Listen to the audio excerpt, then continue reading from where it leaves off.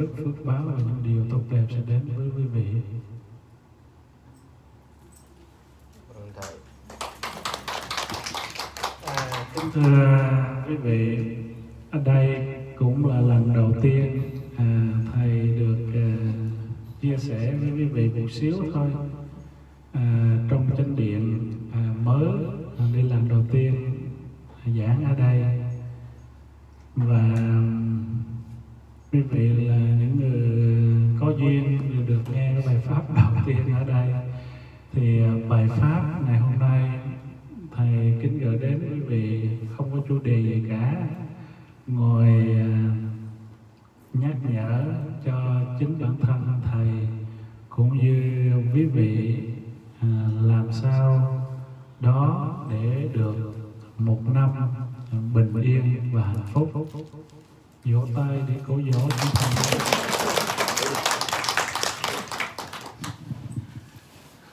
kính kính thưa quý vị à, đầu năm tết đến người người nhà nhà người nào cũng là à, ăn mặc nè đẹp nè sửa sàn nhà cửa đẹp nè. Tất cả mọi cái gì là cũng đẹp là cũng mới mẻ cả và đầu năm mà người ta thường chúc cho nhau hoặc là đến chùa cầu nguyện vân vân. Chúc cái gì thưa quý vị?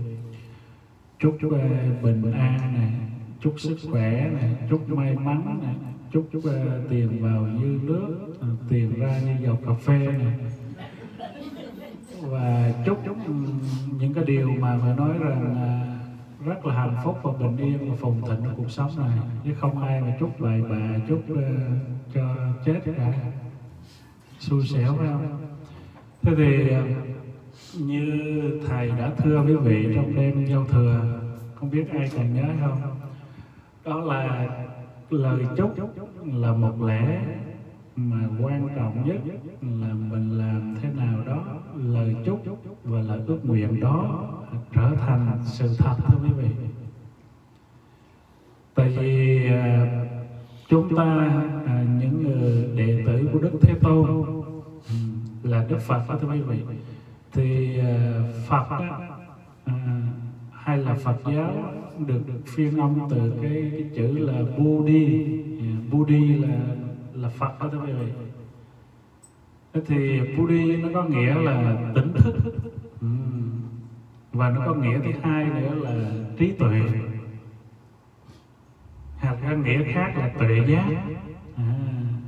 thế thì những người đệ tử phật, những người tu trên con đường của đức phật là những người gì quý vị? Là những người phải tỉnh thức. Cái mắt nhắm mắt mở đi, không tin nhân không tin quả, hoặc là cứ lo cầu nguyện mãi, không có làm việc gì tốt đẹp. Có ích cho mình và cho người. Thì được không quý vị? Điều đó không phải là tỉnh thức mà cũng chẳng phải là trí tuệ cả. tuy nhiên mình mình cũng phải ờ, cầu nguyện. mình cũng phải cầu an hoặc là mình cũng phải cầu siêu. và sự cầu an cầu siêu hay sự cầu nguyện là sự, sự chúc tụng đó. chúng ta phải dựa trên uh, sự hiểu biết. Dựa trên tuệ giác.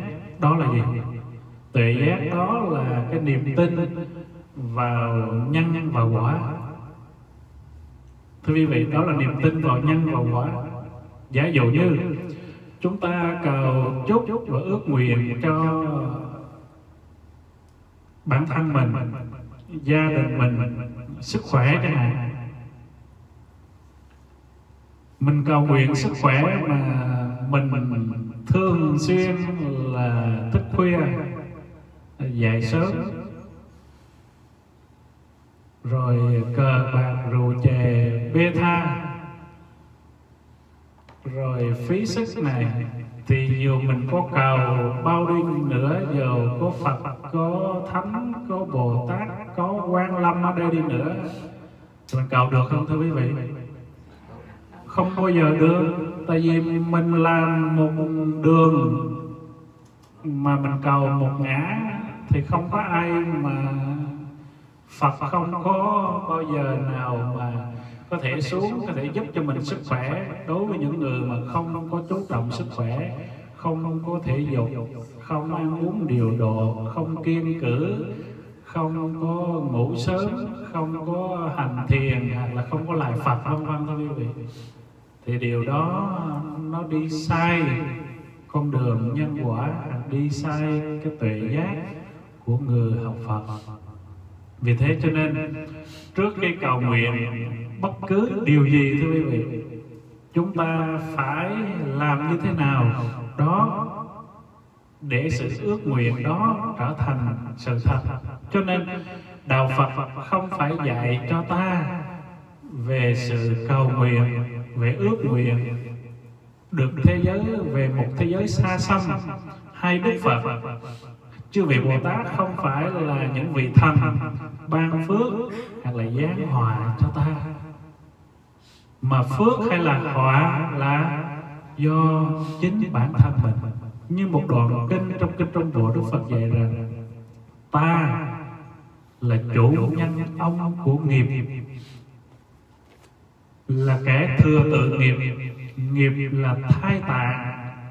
Nếu như chúng ta có nói hoặc là làm, bất cứ điều thiện, điều ác, nghiệp sẽ theo sau. Thì đạo phật lúc nào cũng đề cao và xây dựng trên nền tảng con người mình. Chứ không như những tôn giáo khác, anh hãy cầu nguyện đi, anh hãy cầu thần linh đi, anh hãy cầu chúa trời đi, anh hãy cầu thượng đế đi anh sẽ được tất cả. Sau khi chết anh sẽ về thế giới của đức chúa trời thế giới của thượng đế thế giới của à, tốt đẹp chư thiên vân vân thưa quý vị. Và những tôn giáo khác là những vị giáo chủ có quyền lực có khả năng bương ban phước và giáng hòa cho những người tin hoặc là không tin. Và đối với đạo phật Đức Phật lúc nào cũng đề cao con người là trên hết với câu nói đi vào lịch sử của loài người đó là, ta là Phật đã thành. Những vị ngồi đây là Phật. Sắp thành hay sẽ thành?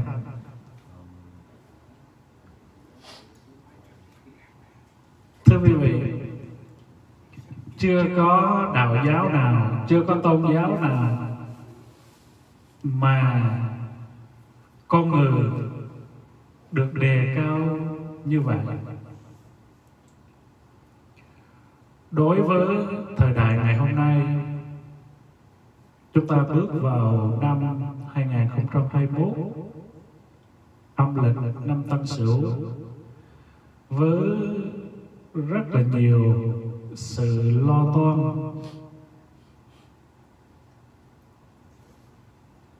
với rất nhiều sự căng thẳng và sợ hãi. lo toan căng thẳng sợ hãi bởi chiến tranh dịch bệnh. thiên tai lũ lụt động đất sóng thần kinh tế chính trị vân vân tất cả điều đó nó làm cho tâm của nhiều người đó bất an.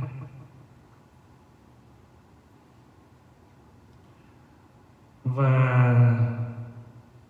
đem đến sự bất an đó, đem đến sự căng thẳng, sầu muộn và ảnh hưởng trực tiếp đến cuộc sống của hàng triệu hàng triệu người và trong những năm, một năm vừa qua, riêng đại dịch đã cướp đi hơn 500 ngàn người Mỹ của chúng ta và hàng triệu người trên thế giới nữa, thưa quý vị. Đó là sự mất mát, sự đau thương, sự tổn hại của thế giới này. Thế thì trên quan điểm của đạo phật, nhìn nhận thế giới hiện tượng như thế này. Vì bởi lẽ, chúng ta, những người tu học Phật theo con đường của Đức Thế Tôn, lúc nào chúng ta phải dùng cái đầu của mình quý vị, tuệ giác của mình, trí tuệ của mình, có được nhờ sự tu và sự học để quán chiếu thế gian như lời của Đức Phật dạy, thực sự vô thường hay không? Thế gian vô thường, quốc độ thì nguy thí, tứ đại thì khổ không. Ngủ ấm thôi, vì cái thân của mình là vô ngã. Sanh diệt biến gì hành vi tội tạo vân vân vân vân vân.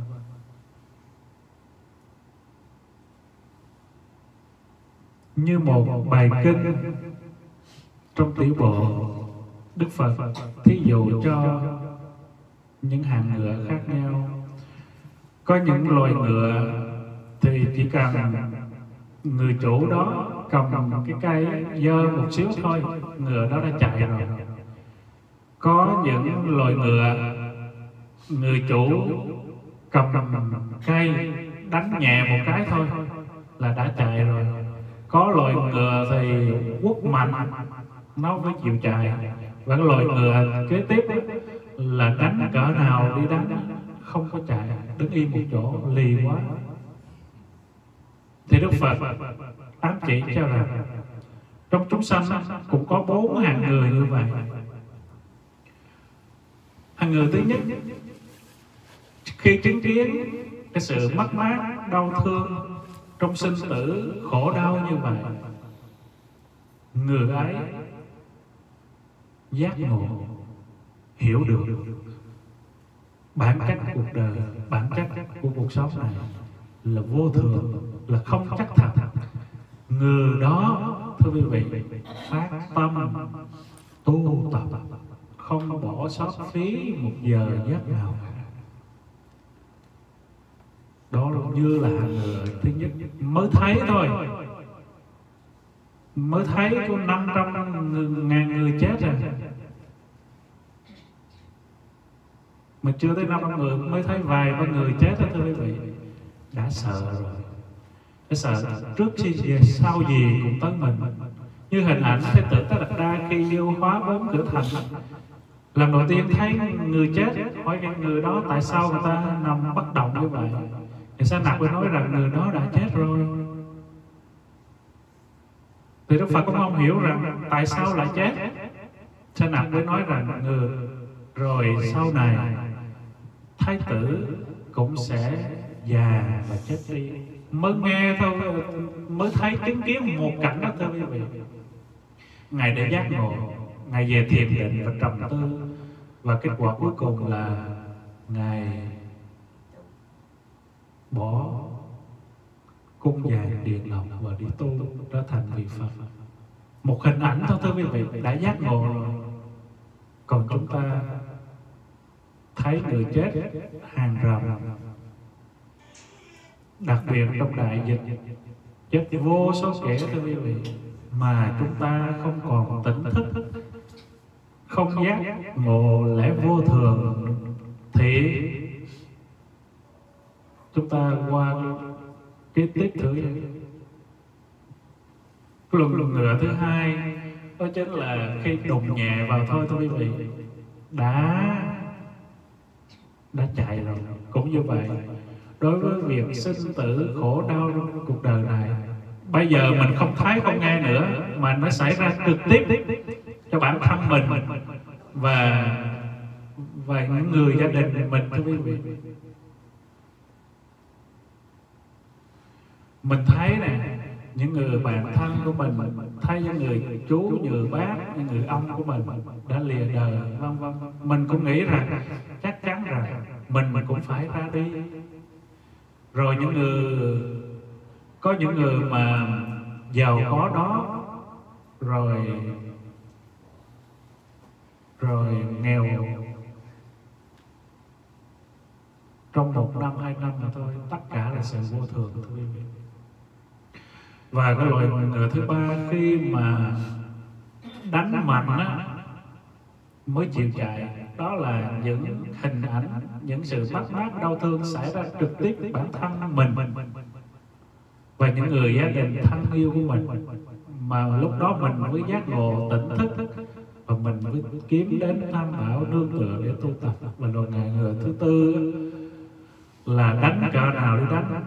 Lì thôi quý vị không chịu chạy. dù thấy vô thường dù thấy khổ đau dù thấy tan thương mất mát mình cũng vững dơ như không có chuyện gì xảy ra. Trái đất vẫn quay mặt trời vẫn mọc và lặng ta vẫn đi làm lấy lương và sinh sống. Mắc mối đến ta ta vẫn sống bình yên không có vấn đề gì.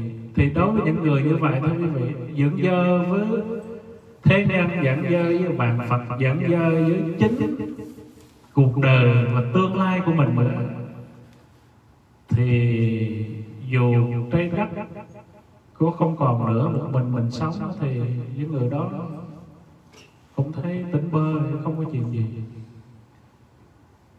Thì qua bài kinh đó, chúng ta thấy rằng đạo Phật hay Đức Phật xin nhắc lại, đó là con đường của sự tỉnh thức và con đường của tuệ giác người nào tỉnh thức được? Người nào có tuệ giác để nhìn ra thấy vàng vật xung quanh? Vô thường, khổ đau hay là vô ngã? Thì người đó có được cái tri kiến. Thì chính cái tri kiến kiến và trí huệ đó, nó đem đến cho cuộc sống của mình. Sự bình yên thưa quý vị người ta thấy cuộc đời như vậy, cuộc sống như vậy, người ta bất an, khổ đau. Mà người học Phật tu, học cũng thấy như vậy. Không phải là bất an, khổ đau nữa, mà chính sự bất an, khổ đau đó biến thành sự bình an, quý vị. Bởi lẽ rằng thấy cái bản chất của nó là thật, là như vậy. Đức phật đã nói rồi, đức phật đã dạy rồi, không gì là chắc thật cả là vô thường, là khổ đau. Mình đã thấy biết rồi. Mình còn được sống phút giây nào? Mình được còn nghe chánh pháp? Mình còn gặp thiện tri thức? Những bạn thân, bạn hữu được những vị thầy tâm linh dẫn dắt được phút giây đó là được bình yên hạnh phúc rồi. Trời ru ru ở đầu năm ngủ ha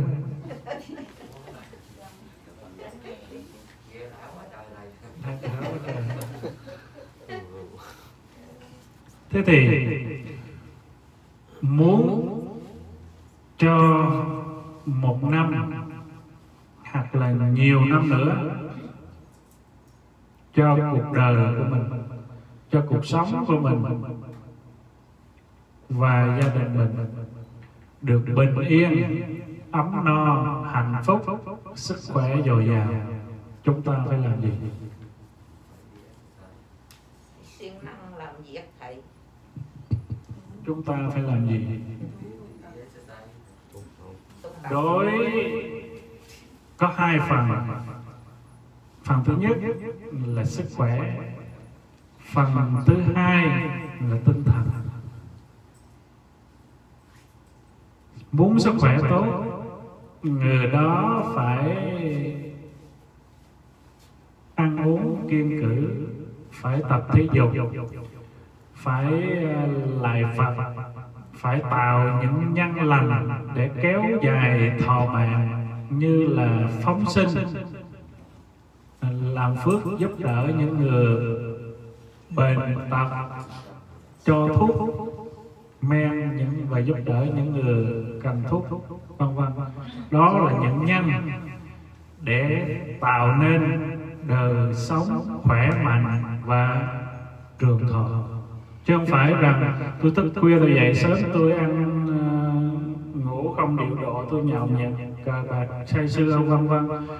Mà tiếp tới cầu nguyện đầu năm, cầu cho sức khỏe, dù có ngàn ông thầy cầu chúc, dù có ngàn phật tử cầu chúc đi nữa, thì thầy nghĩ là vài năm cũng đây. Không có đây thì cũng bệnh bệnh thôi quý vị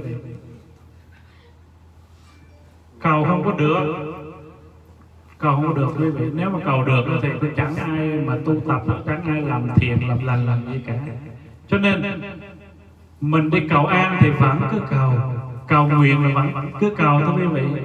Thầy sẽ giải thích tại sao phải cầu cái gì. Khi mình phát khởi cái sự cầu nguyện lên ờ, tam bảo thì mình đã bắt đầu gieo trồng cái hạt giống thiện lành rồi và nhờ sự gia hộ với tâm bảo với cái lòng tính tâm kiên cố thì có thể chuyển hóa được với điều kiện mình phải biết cộng tác thôi mình phải cộng tác đấy mình cầu nguyện mình phó mặt cho, cho ông Phật. Ông ban phước và giác ngộ cho mình mới là mình đi trật đường rồi thưa quý vị. Wrong way không phải là Phật giáo nữa và không phải những người con của Phật nữa.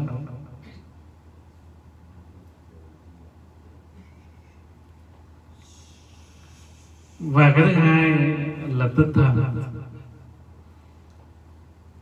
Tinh thần mình. Lúc nào cũng phải tự hỏi rằng mình mình đang vui hay đang buồn, đang phiền não, đang khổ đau hay đang được an lạc, hạnh phúc, đang bất an hay đang bình bình an. Mình bất an về điều gì? Tại sao mình có được sự bình an? Tinh thần mình minh mẫn hay là tinh thần mình lẩm cẩm?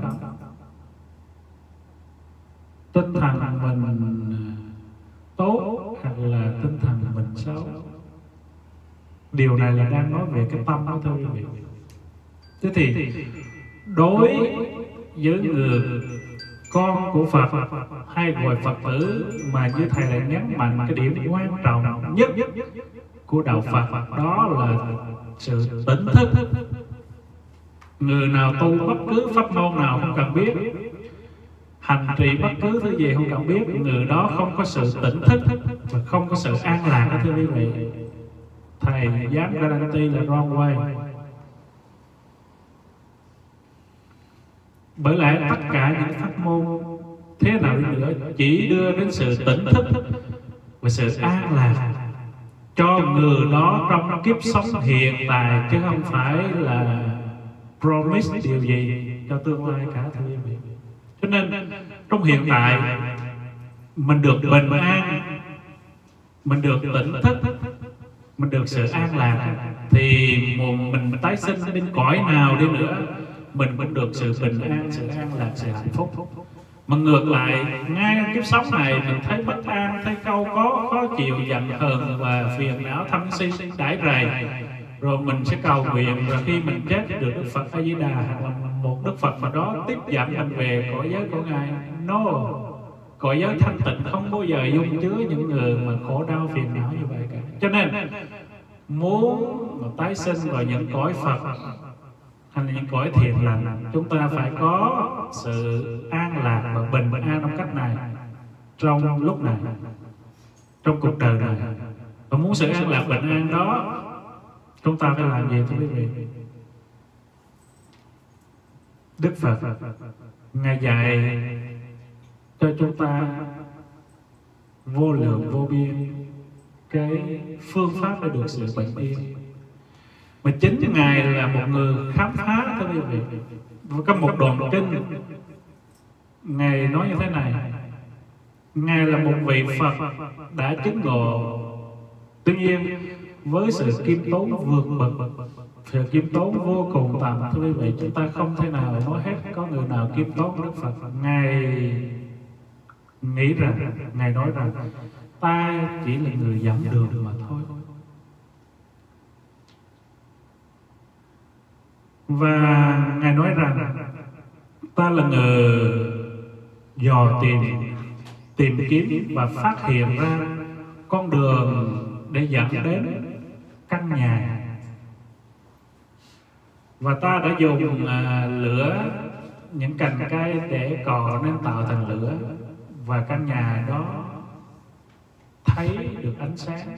Và ta phát hiện rằng trong căn nhà đó là lâu đài với nhiều trao báu người ta đã tặng tay, vẽ lại cái tấm bản đồ của lâu đài đó, thưa quý vị. Và ta đã trao tấm bản đồ đó cho các con.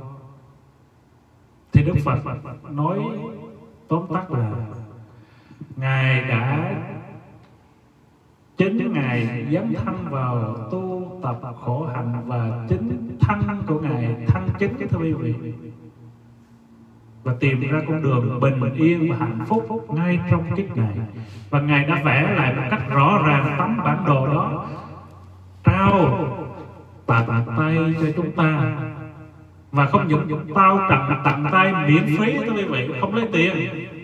Free hết không những trao trao phi á, mà ngài còn nắm tay dắt đi nữa thưa quý vị. Ta biết con đường đó rồi. Con đường đó sẽ đi đến kho báu này đến tòa lâu đài được bình yên và hạnh phúc. Muốn lấy gì lấy muốn giàu có cỡ nào cũng được. Này ấy thế mà chúng ta chịu đi không thưa quý vị? Có những người mà dùng vàng ra đi được vài bước dùng vàng là tôi không muốn đi nữa.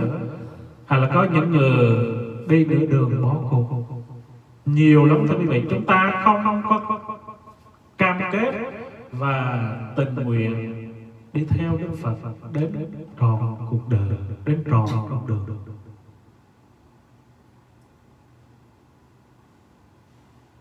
Nhiều khi chúng ta cũng tu đó, chúng ta cũng làm phước đó, chúng ta cũng bố thí cũng dường giữ tâm niệm tốt đó mà gặp những chứng duyên ờ, chùa chiền hay phật tử hay những người bạn thân hữu về những cái chuyện không đau vào đau rồi giận rồi hờn rồi trách đủ thứ cái vị thế thì chẳng khác nào chúng ta đang đi mà chúng ta dùng dằn không muốn đi nữa hoặc là chúng ta thả tay ra. Không muốn đức phật nắm tay chúng ta đi tiếp nữa vị cho nên có câu là tu thì nhiều, được chẳng bao nhiêu. Giống như cái câu là hứa thật nhiều thất hứa cũng thật nhiều. Trở lại vấn đề, muốn sự bình yên và hạnh phúc, đức phật chỉ dạy rõ ràng đó là bớt tham dục và tham ái, thưa quý vị. Tham dục và tham ái chính là hai nguyên nhân chính đưa đến sự bất an. Thí dụ, tại sao như vậy, thưa quý vị? Giả dụ như chúng ta trước khi qua mỹ, bắt đầu qua mỹ như vậy hầu hết tất cả quý vị là đôi bàn tay trắng người nào khá hơn nữa thì đem theo ít được ít vàng. Hầu hết là đôi bàn tay trắng với năm ba đứa con thơ. Khi đặt chân đến mỹ rồi à, ngày qua ngày chúng ta vẫn sinh sống và tồn tại nơi đất nước này cho đến bây giờ, sau ba chục năm, bốn chục năm năm chục năm chúng ta nhìn lại, được gì phải mất gì? Tại sao so với thời kỳ chúng ta mới đặt chân đến mỹ, đôi bàn tay trắng, bây giờ chúng ta có nhà, có cửa, có mọi thứ, tiền thì không phải triệu đô, nhưng cũng có vài ba ngàn, năm ba ngàn, mười ngàn mà hà cớ sao chúng ta lại khổ đau và bất an vì sao? Câu hỏi này quý vị phải trả lời như vậy trả lời được. Như vậy sẽ giải ra được cái nút và cái khúc mắc tại sao chúng ta đau khổ và bệnh bất an. Đó là tham dục thưa quý vị. Chúng ta không có gì. Từ khi không có gì cho đến khi có và cái dục là gì? là chúng ta muốn có và có nữa và có mãi. Và chúng ta không muốn mất cái điều đó. Sợ dĩ nó mất nếu mà có mà mất nó làm cho chúng ta đau khổ. Cho nên vì chúng ta không có tuệ giác thưa quý vị và chúng ta quay cuồng theo thế gian được mất thành bại. Hơn thua phải có. Và trong tâm chúng ta, có mong cầu cái gì đó, thì mới có sự bất an, thưa quý vị. Trong tâm chúng ta rộng, trơn, không có sự dục cầu và mong cầu điều gì đó. Dù trái đất này có sụp, thưa quý vị, chúng ta vẫn bình an, vô sự. Không có điều gì làm cho chúng ta bất an cả, thưa quý vị. Tại vì chúng ta cầu và chúng ta sợ mất. Điều điểm đó nó làm cho chúng ta bất an, thưa quý vị.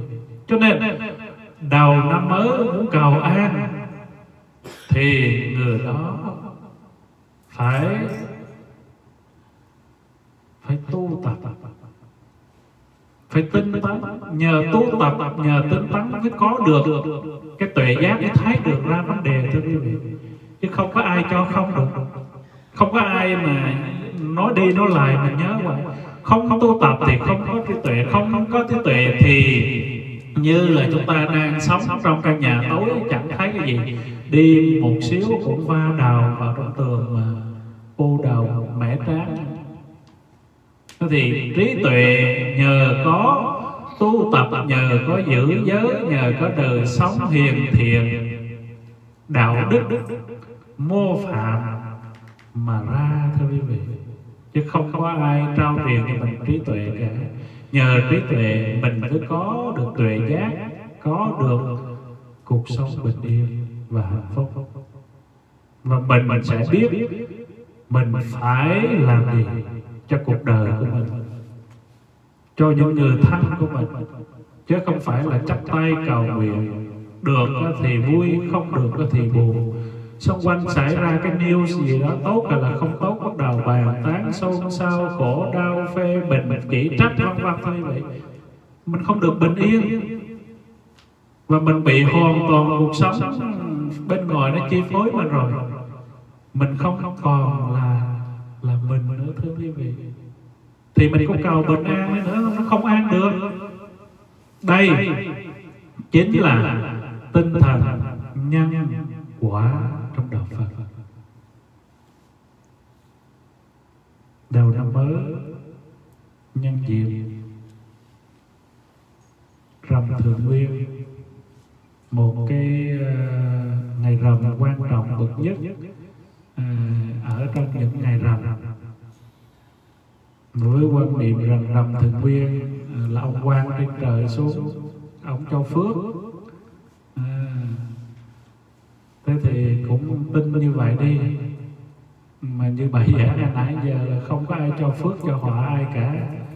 Mà phước hay họa là tự mình mình thưa quý vị. Mình tư duy, mình suy nghĩ rồi mình hành động.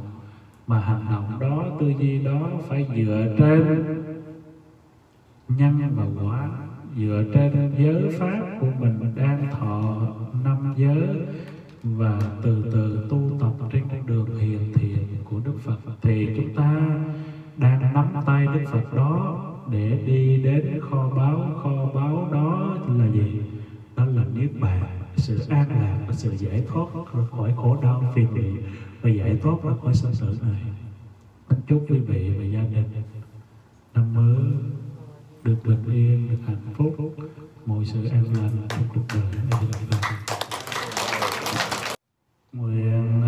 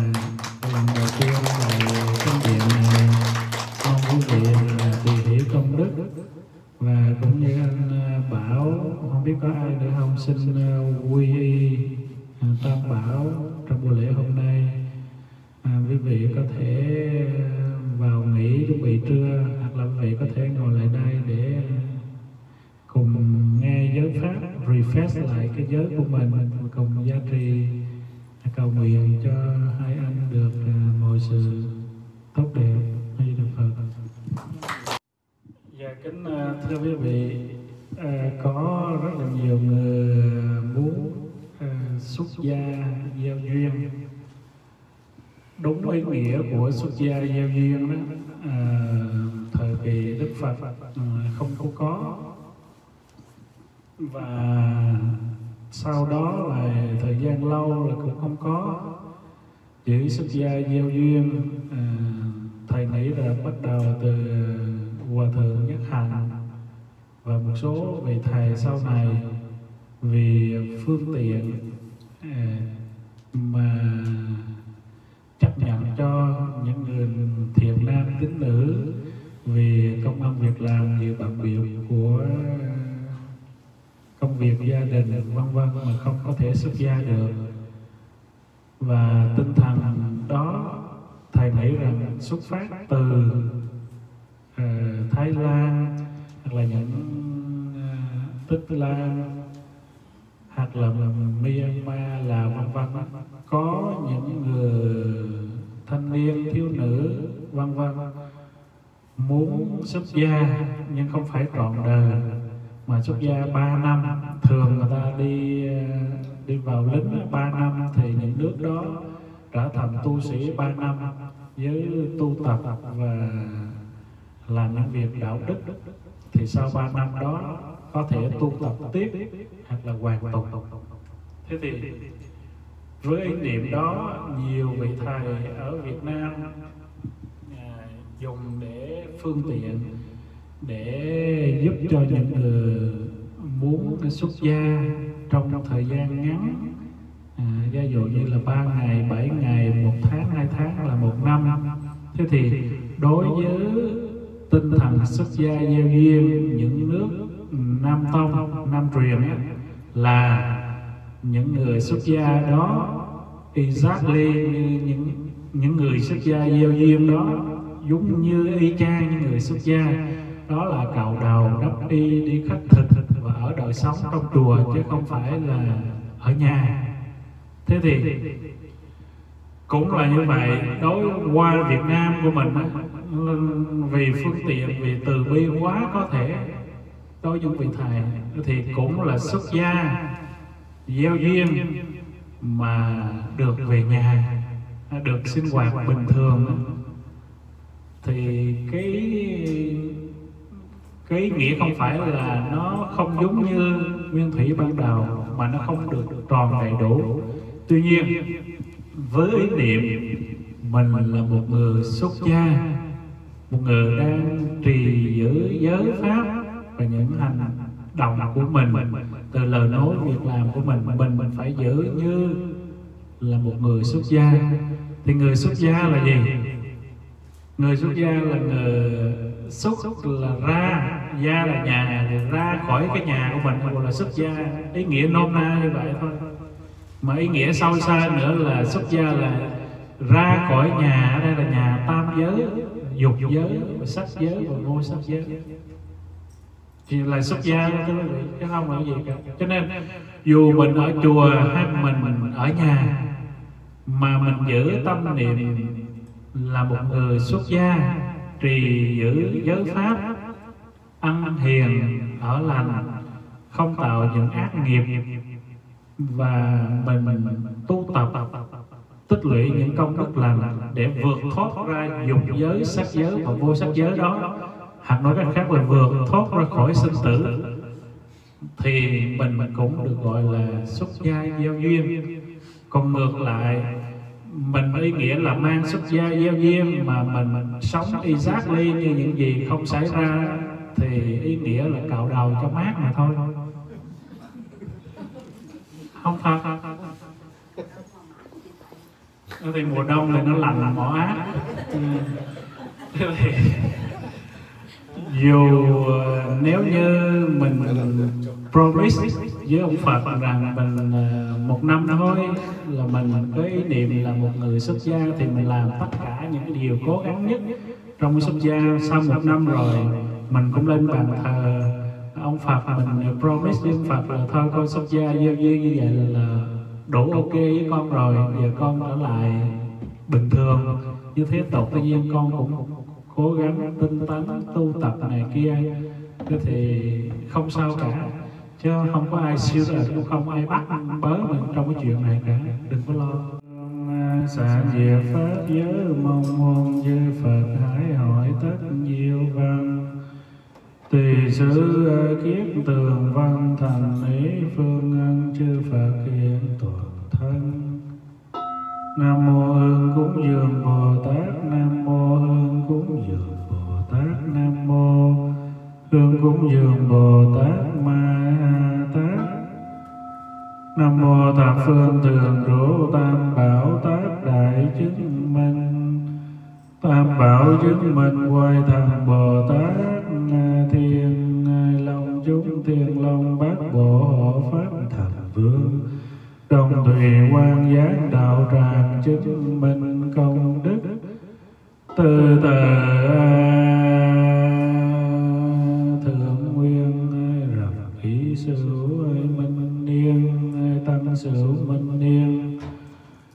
đệ tử tăng dân nguyện đình bảo cập mạnh lê pháp nguyện, xuất gia gieo duyên cặp quy di thờ. Nguyện nguyện, thập phương tường rủ tam bảo quan giác đạo tràng, từ bi chứng minh gia hộ nam mô hương cúng dường bồ tát. Nam mô hương cúng dường bồ tát. Nam mô hương cúng dường bồ tát ma Ha tát. Vô thượng thầm thâm vi diệu pháp bất thiên vạn kiếp năng to ngộ ngã kim kiến văn đắc thọ trì. Nguyện nghe giải như lai chân thiện nghĩa, nam mô khai bảo tạng bồ tát. Nam mô khai bảo tạng bồ tát nam mô khai bảo tạng bồ tát ma tát. Khi mà thầy nói với quý vị cái mô phật nha các thiện nam, Đức Phật dạy ba cõi không yên như ở trong nhà lửa. Muốn xa lìa khỏi khổ thì phải nương về tam bảo. Người muốn thoát khỏi bến sanh tử luân hồi Không thể bỏ qua sự thọ trì giới pháp mà được. Giới như chiếc bè báo đưa người qua bể khổ Giới như đất bàn thẳng muôn vật đều từ đây phát sinh Giới như ngọn đèn sáng chiếu phá các chỗ tối tăm giới là con đường tắt đưa đến cõi nhân thiên là cửa ngõ vào cảnh niết bàn. Cho nên, trong kinh nói rằng, nếu có chúng sanh nào muốn dứt trừ các khổ hướng sự vui vô thượng niết bàn, thì phải thọ trì tam quy và ngũ giới. Nếu người nào giữ được thanh tịnh cho đến giây phút từ quy tâm bảo đến đời vị lai, sẽ được chứng quả niết bàn. Quý thiền nam. Trong luật Phật dạy rằng, người quy tâm bảo trước phải sám hối cho thanh tâm được thanh tịnh, cũng như muốn chứa đựng vị cam lồ trước phải xúc cái bình cho thật sạch. Con người khi thọ trì tam quy trước phải cần phải sám hối trừ phiền não cho tâm được thanh tịnh mới có thể lãnh thọ giới pháp thanh tịnh. Nhưng phải hiểu ý nghĩa sám hối là gì? Sám có nghĩa là ăn năn, hối có nghĩa là hối hận. Sám hối có nghĩa là ăn năn và hối hận những hành động bất thiện của thân khẩu ý của mình tạo tác ra từ đời này và vô lượng kiếp trước. Quý thiền nam tín nữ, khi đã nghe giảng về ý nghĩa sám hối rồi, vài quý vị đứng lên lễ phật, cầu nguyện, cầu xin sám hối vạn tất xà tạo chư ác nghiệp dây do vô thị tham sân si. Tùng thân gửi chi sợ sanh nhất thiết ngã kim dây sám hối. Nam mô cầu sám hối bồ tát ma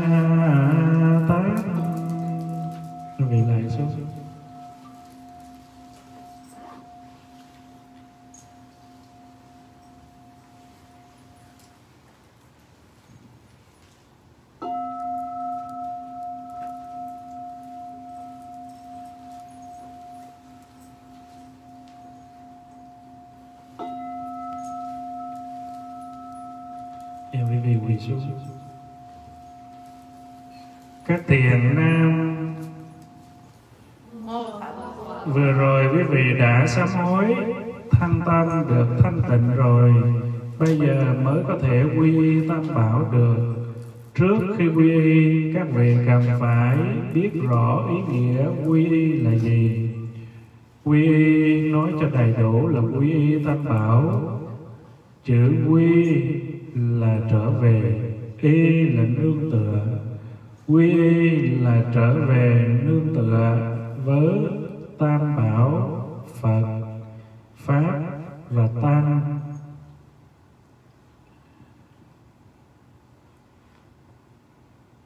Quý vị đã nghe và hiểu sơ lược về quy tâm bảo rồi.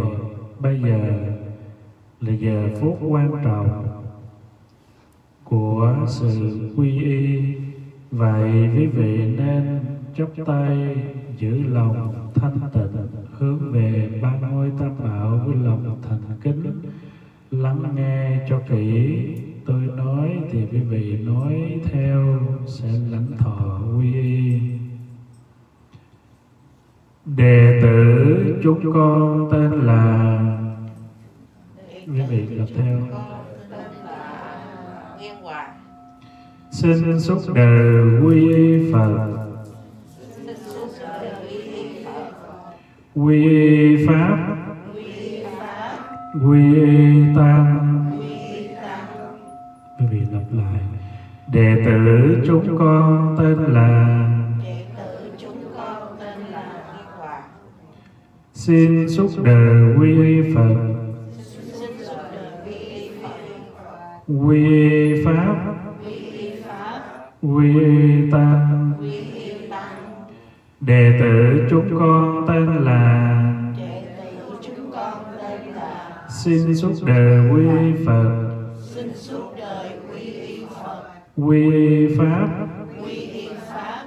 Quy y tăng. Đệ tử chúng con suốt đời quy Phật rồi.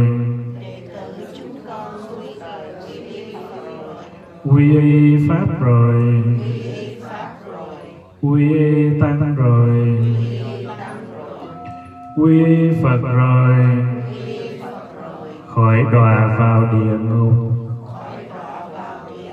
Quy pháp rồi.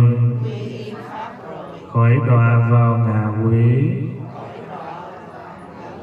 Quy tăng rồi. Tăng rồi khỏi đọa vào bàn sanh đệ tử chúng con suốt đời quy phật rồi. Quy pháp rồi. Quy tăng rồi. Quy phật rồi, khỏi đọa vào địa ngục. Quy rồi khỏi đọa vào quy pháp rồi, khỏi đọa vào ngạ quỷ. Quy tăng rồi khỏi đọa vào bàn sanh. Đệ tử chúng con suốt đời quy y phật rồi. Quy y pháp rồi. Quy tăng rồi. Quy y tăng rồi quy y phật rồi khỏi đọa vào địa ngục quy y Phật rồi khỏi đọa vào địa ngục quy pháp rồi, khỏi đọa vào ngạ quỷ. Quy tăng rồi, khỏi đọa vào bàn sanh. Quy quý vị đứng lên lễ phật. Khi tam đàn lễ, Nam Mô Thập Phương Thường đủ Tam Mai Bảo.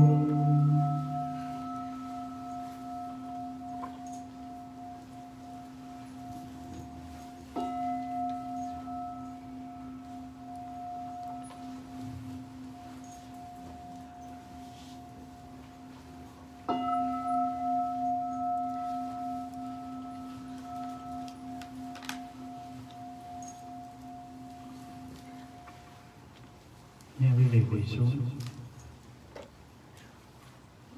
Này các thiền nam, Các vị đã quy Phật rồi, Từ nay trở đi thà bỏ thân mạng, Trọn không được quy y thiên thần, Quỷ vật Vì sao vậy? Vì thiên thần và quỷ vật kia còn bị luân hồi sanh tử không phải là thánh nhân xuất thế gian. Quý vị đã quy pháp rồi, thà bỏ thân mạng, chứ không quy theo kinh điển của ngoại đạo tà giáo. Vì sao? Vì kinh điển của ngoại đạo tà giáo không phải là pháp môn vô lậu giải thoát. Quý vị đã quy tăng rồi, thà bỏ thân mạng, chứ suốt đời không quy theo đồ chung ngoại đạo vì sao? Vì đồ chúng ngoại đạo không phải là người tu giải thoát chứng quả tam thừa, họ sẽ dẫn dắt quý vị vào con đường tối tăm nguy hiểm. Quý vị đã quy y mười phương Phật Pháp Tăng rồi, thì từ đây về sau, Tăng ở xứ nào, chùa nào hay nước nào cũng đều kính quý, không phải chỉ là kính quý tăng chùa mình hay thầy mình mà thôi. Đến đây, pháp thọ tam quy ngũ giới đã xong. Và mời quý vị nhất tâm tiếp tục thọ trì về ngũ giới. Các vị đã thọ tam quy rồi, nay bước lên một bước nữa là thọ ngũ giới. Vậy trước khi thọ ngũ giới, Quý vị phải biết rõ ngũ giới là gì. Ngũ giới chính là năm điều răn cấm. Thứ nhất, không được giết hại chúng sinh Thứ hai, không được trộm cắp. Thứ ba, không được tà dâm. Thứ tư, không được nói dối. Thứ năm, không được uống rượu. Phật chế ra năm điều răn cấm này để cho người tại gia thọ trì và tu tập. Nếu ai giữ trọn năm điều răn cấm tức là giữ trọn nhân cách kiếp sau khỏi đọa vào địa ngục ngạ quỷ và súc sanh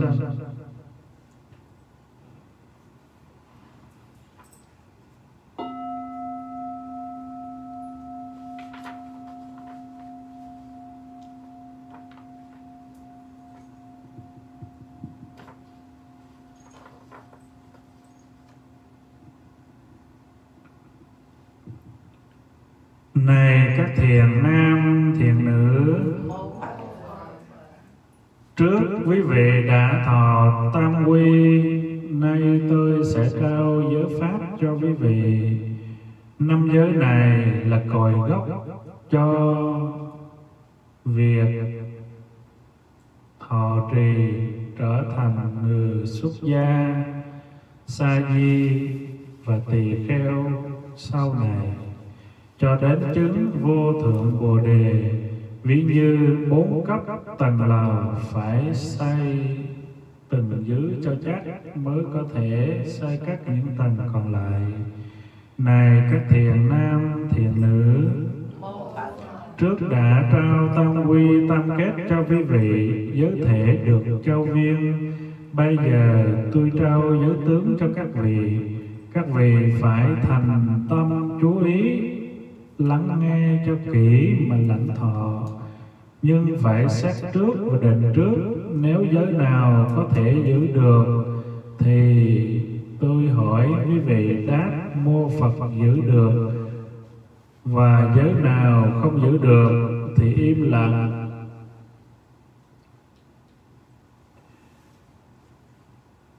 Quý vị quỳ thẳng chắp tay thành tâm mà lãnh thọ giới pháp giới thứ nhất, từ nay đến suốt đời không được giết hại chúng sinh là giới của người phật tử tại gia, vậy các vị có thể giữ được không?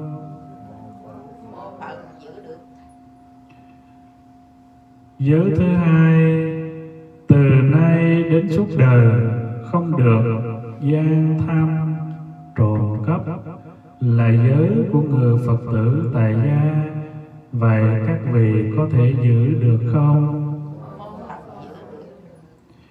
Giới thứ ba, Từ nay cho đến suốt đời, Không được tà dâm Là giới của người Phật tử tại gia Vậy các vị có thể giữ được không?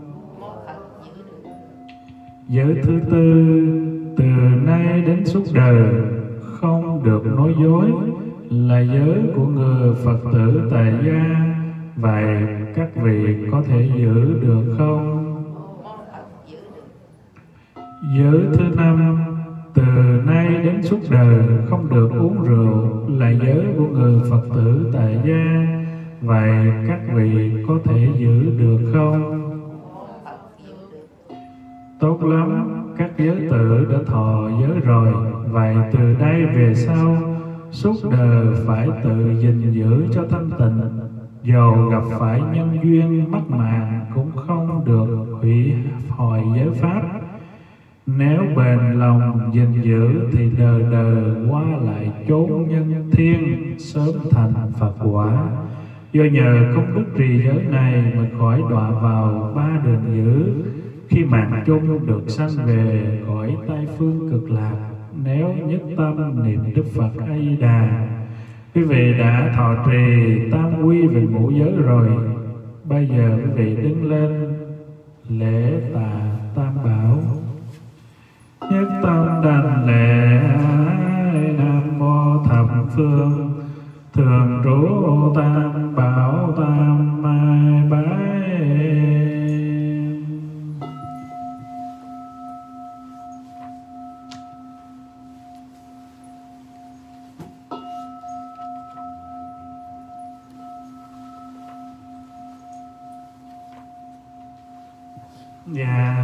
mời quý vị quỳ xuống.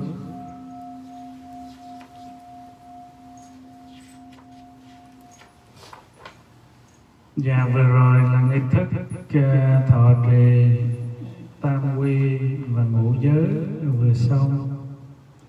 Thầy có vài lời để dặn dò quý vị những người đã thọ trì tam quy ngũ giới nhiều năm và những vị ờ, đã mới thọ.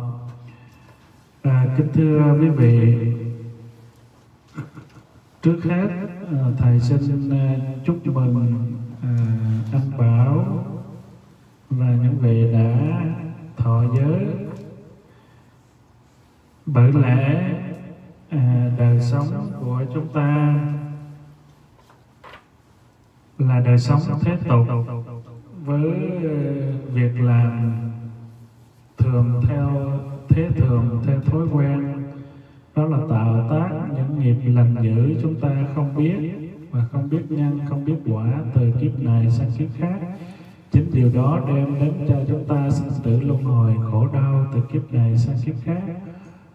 À, và nhân duyên hôm nay quý vị được đến chùa được nghe pháp được nghe kinh hiểu được đạo lý hiểu được nhân quả và chúng ta phát tâm muốn bước lên một bước nữa để hoàn thiện nhân cách, làm người hiền thiện, cho đến phát tâm tu tập trở thành thánh quả. Thì những người đó điều kiện trước tiên là phải quy tâm bảo, đó là hứa nguyện đức tâm bảo trở thành đệ tử của đức thế tôn và nương tựa vào giáo pháp của đức thế tôn để tu tập, cũng như nương tựa vào đoàn thể tăng chúng, như những thiện tri thức dẫn dắt mình tu tập. Đó là quy y tam bảo.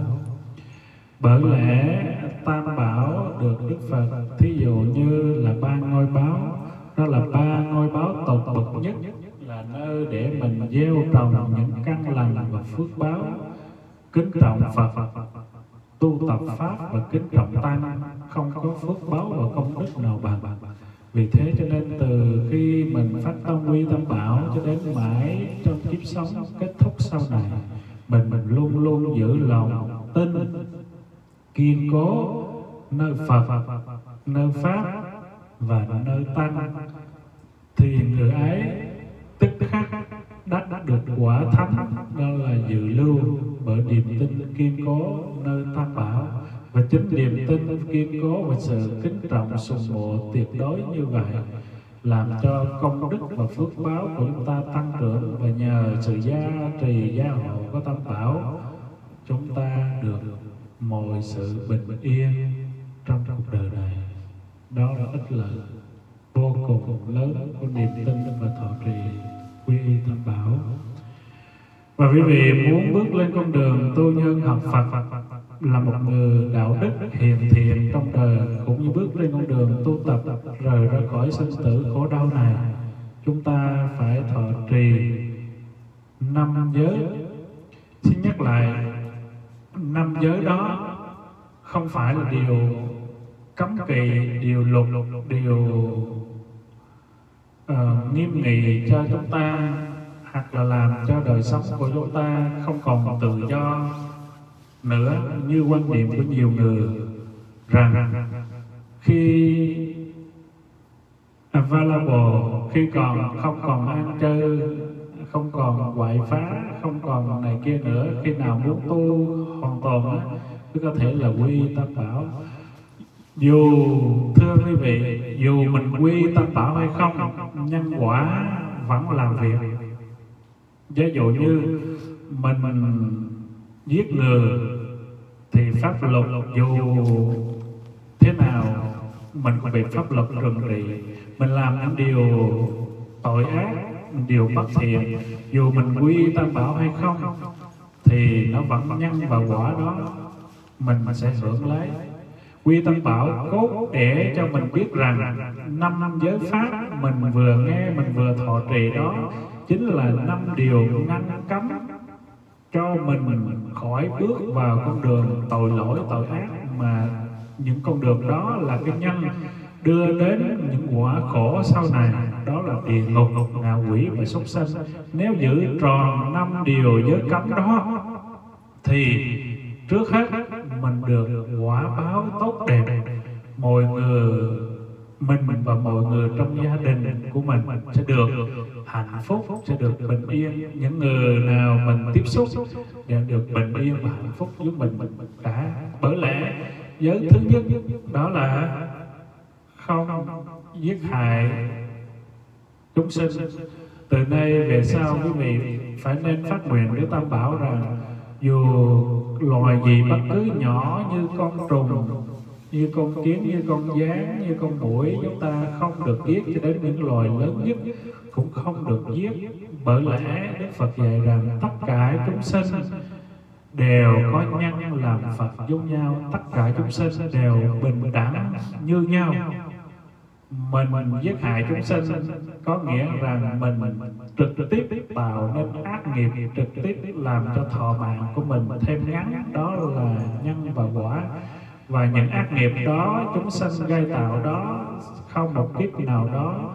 Mình nếu như mình hết phước rồi, mình sẽ bị quan gia báo ứng của những chúng sanh mình bị giết hại đó. Cho nên sự giết hại đó rất là nguy hiểm.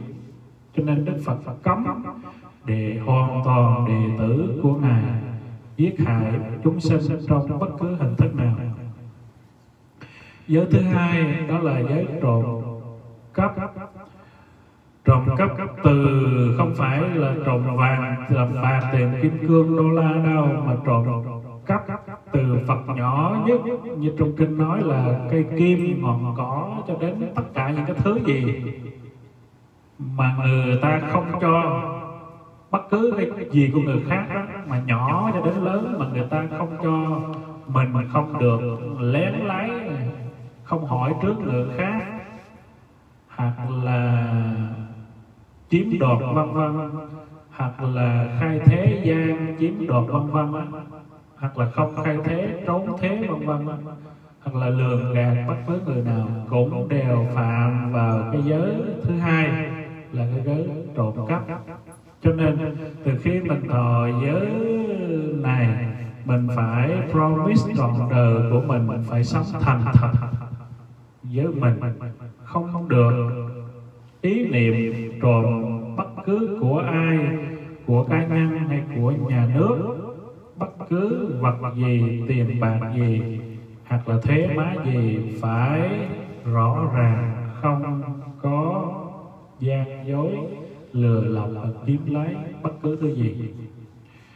Điều thứ ba đó là tà dâm. Tà dâm chính là mình mà đã có chồng rồi, hay là có vợ rồi, mà có ý niệm trai gái với người khác giới, hoặc là gian díu với người khác giới, điều đó làm cho gia đình mình không được được hạnh phúc chồng của mình mình không hạnh phúc hoặc là vợ của mình mình không được hạnh phúc. Cho nên đối với quy y tam bảo, mình phải promise với ba ngôi tam bảo Phật pháp tăng, từ nay về sau mình không bao giờ mình có ý lén phép, liếc ngang liếc dọc với người nào khác phái. Dù mình mình nếu như mình có gia đình rồi, thưa quý vị mình không có gia đình nữa thì mình cũng đừng có liên can đến dòng và xin thưa quý vị cái giới tà dâm đó nó bảo đảm cho cuộc sống của mình bình yên và gia đình được hạnh phúc. Giới thứ tư là gì quý vị?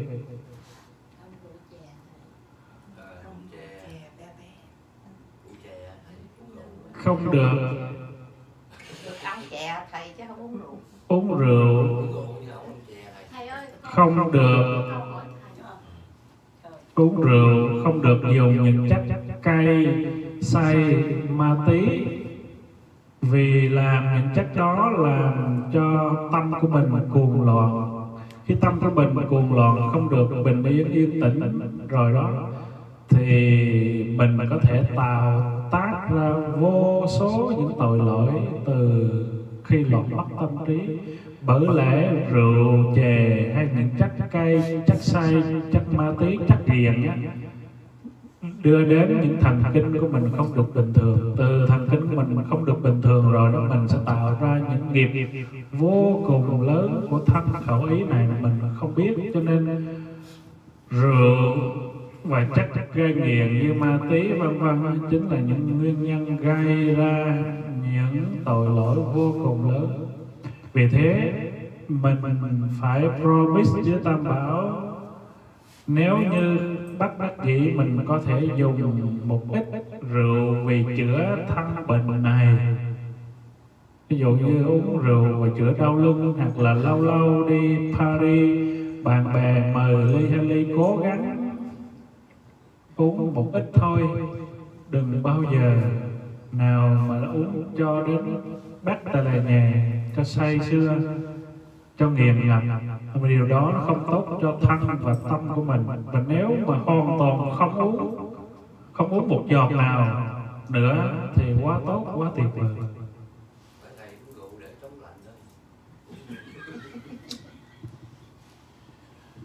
Và những điều đó những điều cấm giới đó không phải là pháp luật không phải điều gì cả, không phải phật khó dễ với mình, thầy khó dễ với quý vị, mà chính là những hàng rào để bao bọc cho chúng ta không vượt ra khỏi những hàng rào đó. Nếu vượt qua và phạm phải thì đời sống của chúng ta không còn là đời sống yên bình nữa đời sống của chúng ta không còn là người phật tử nữa.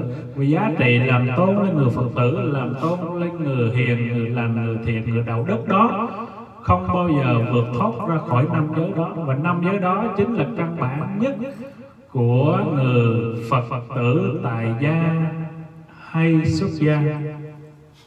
Nếu người nào muốn tu tập hiền thiện, muốn ra khỏi sinh tử, khổ đau gì cả mà không giữ năm giới vừa neo đó, thì xin thưa và thầy nói guarantee rằng người đó tu cũng chẳng đến đâu, và người đó không phải là phật tử nữa. Cho nên, tu tập dù tài gia hay xuất gia phải văn giữ giới pháp mà năm giới này chính là vị thầy dẫn dắt mình đi trên con đường thiện đạo, dẫn dắt mình đi trên con đường thánh đạo. Ông phật, giờ ông có trở lại thế gian, ông cũng dạy chừng đó mà thôi. Ông dẫn dắt tay của mình đi cũng một chừng đó mà thôi thưa quý vị. Cho nên, dù phật còn hay phật không còn, dù mình ở nhà hay mình xuất gia, mình gì đi nữa và văn giữ và tròn đầy năm giới pháp mình đã thọ thưa quý vị. Và lúc nào, ngày nào cũng remind với mình, năm giới vừa rồi mình có trong ngày đây mình có phạm phải giới nào hay không? Mình có nói dối, nói dốc với ai hay không? Mình có cờ bạc rượu chè hay không? Mình có gian díu với ai hay không? Mình có sát hại chúng sanh hay không? Vân vân quý vị, lúc nào cũng rà sát là những giới của mình tu tập có được hay không? Có thanh tịnh hay không? Nhờ như vậy thưa quý vị giữ giới thanh tịnh như vậy. Đạo đức mình mình có. Chư thiên sẽ ra hộ trì chư phật sẽ hộ trì. Còn mình không giữ giới pháp á, chư thiên cũng xa lắm mà chư phật không hộ trì thì mình dễ bị ma quỷ ma vương bắt mình đi bất cứ lúc nào. Và những tai nạn khổ đau những đau khổ bất an đến với mình, thưa quý vị. Cho nên, giữ giới pháp thiền thần. Thiên long bắc bộ lúc nào cũng ủng hộ và bảo vệ mình cả. Và ngược lại, mình mình break giới mình đã thọ, thì chẳng ai bảo vệ, ai protect như mình cả. Mình cũng chừng chẳng protect như mình được, ủng hộ chỉ là ai.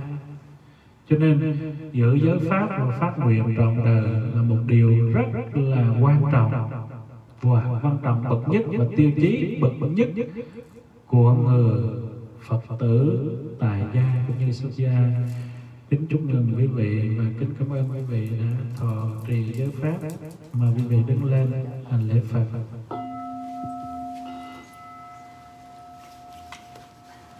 Nhân tâm đảnh lễ nam mô thập phương thường Trú tam mai bảo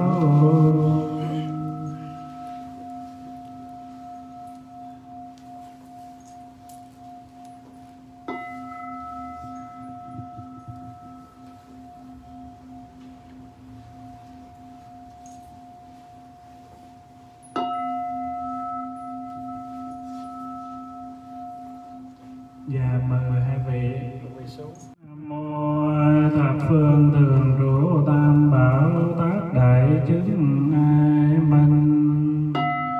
Từ từ đệ tử chúng đặng ai à, tánh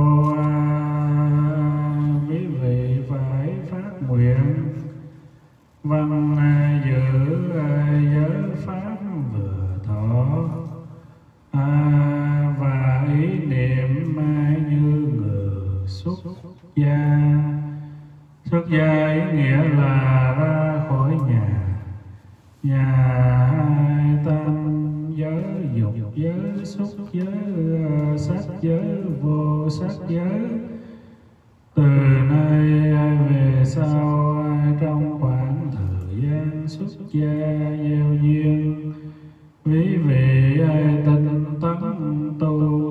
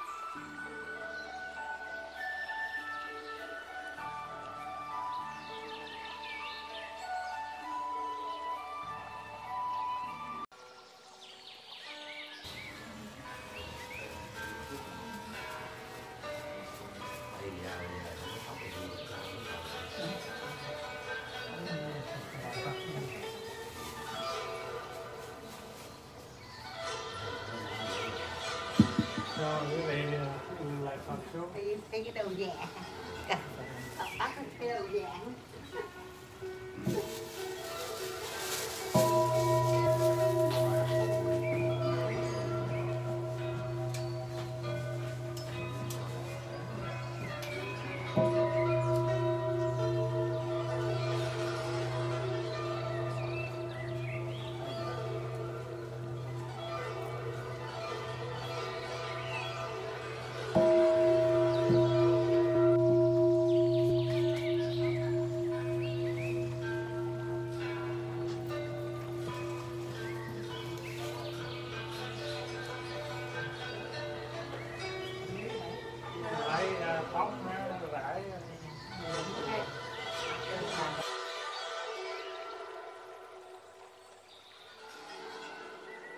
Trời đây mô Phật Thầy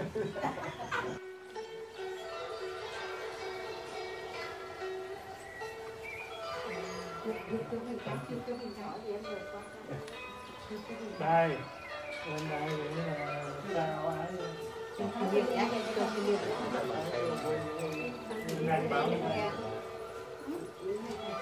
Sao tôi hứa không có phụ nữa nha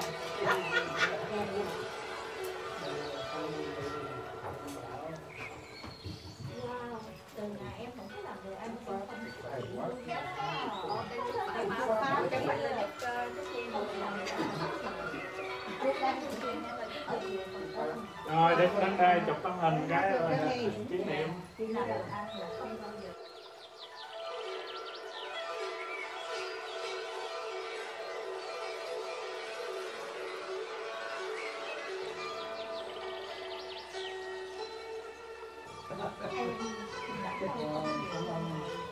Lần đi thì cho coi trường trái Mà nó bắt lên bấm cho nó à.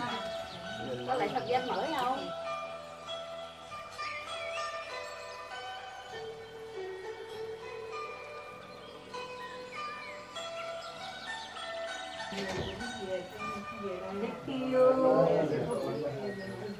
Chúc mừng, chúc mừng. Chúc mừng